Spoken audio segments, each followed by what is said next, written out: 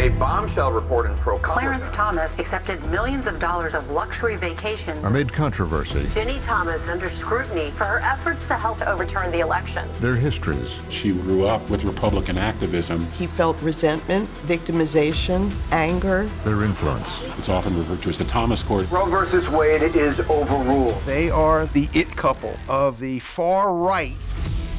Tuesday night at 9